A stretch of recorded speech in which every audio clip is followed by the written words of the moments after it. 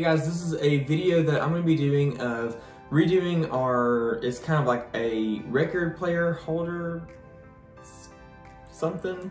Um, anyway, we are about to redo our living room and some of the furniture that's in there. Um, it looks awesome, it's great, it serves a function. However, um, just kind of be budget friendly and wanted to just kind of revamp some of these pieces. Uh, eventually when we get our new couch and rug and stuff in there, the color of the furniture doesn't actually go with a lot of the things that we're going to be doing. So we're going to repaint them. I'm to attempt. So this is a piece that's kind of like just by itself. So if it doesn't work, then we only ruined one piece. So anyway, you can follow along with me as we do this. Let's go.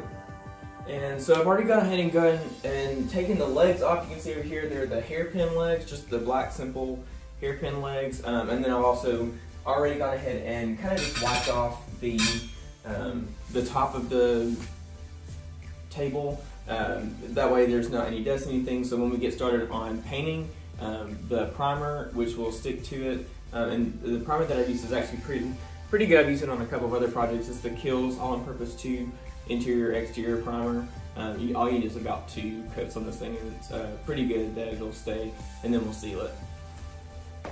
So as a little useful tip that I've learned, uh, if you take a plastic bag, just like a Walmart bag or anything, um, and you put it over your tray, you can save it for a little bit longer. However, you do want to make sure that you turn the bag inside out uh, because the writing and stuff, this is from uh, Winn-Dixie, but the writing and stuff will actually come off um, when you start to use it for a little bit. Uh, so I always like to turn it inside out and that way it doesn't do that. Uh, but let's go ahead and let's get started.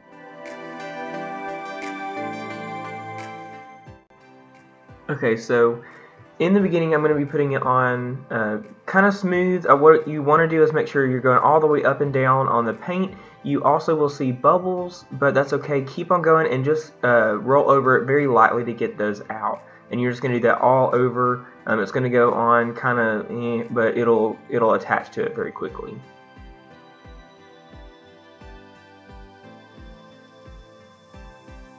What a cute baby boy.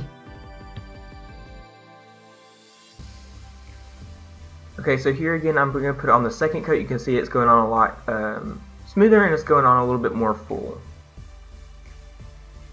Hey, so I wanted to talk to you about the paint that I'm going to be using. Uh, the paint that I've got is um, an acrylic paint. Uh, it's just a chalk paint, but it's uh, linen toil.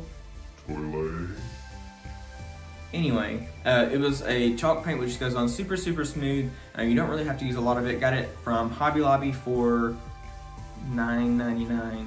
So not too expensive. Um, I used this on another project uh, for a chair and it actually went on super, super smooth. I only used like two coats on it and I think I might have used half of it, if not like just a little bit more um, or a little bit less. But it works on really well, so that's the paint that we are going to be using.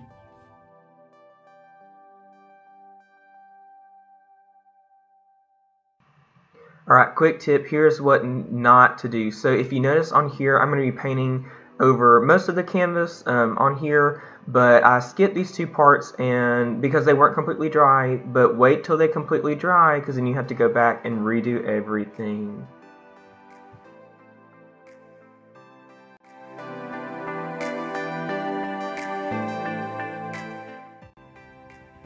So I put the legs on, um, and I already did a second and third coat on it, but somewhere um, on there when I did the uh, primer, I didn't cover one spot, so like the paint didn't stick. So anyway, put some more paint on there, letting it dry. Um, but this is kind of it. This is how it'll look, minus that uh, little spot over there. Yeah, I think it'll look really good.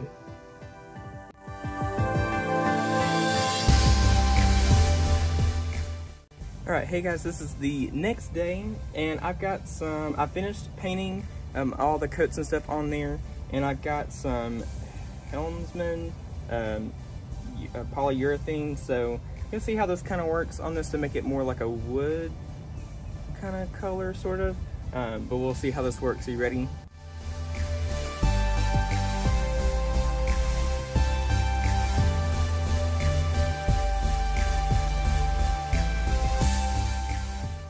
And here is the final look.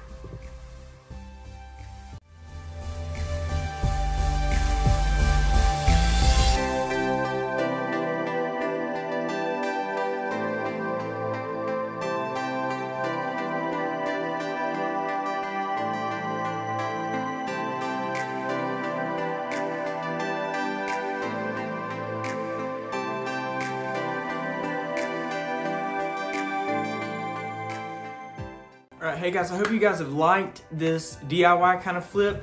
Um, let me know what you think about this in the comment section down below. Um, my final thoughts on this, I don't think I'm gonna be doing this for the rest of my furniture. It was kind of a little inconsistent, but that may have been user error. Um, with a couple of these things, I don't know, it just doesn't, it doesn't hit me right. So I think what we're gonna do is um, let this one be a bust even though it doesn't look too bad, um, I just don't think that it's gonna work for the rest of our furniture that's kind of uh, the same, just dark with black metal accents on it.